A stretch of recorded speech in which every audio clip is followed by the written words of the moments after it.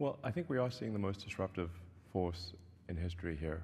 Um, you know, where we have for the first time, we will have for the first time something that is smarter than the smartest human.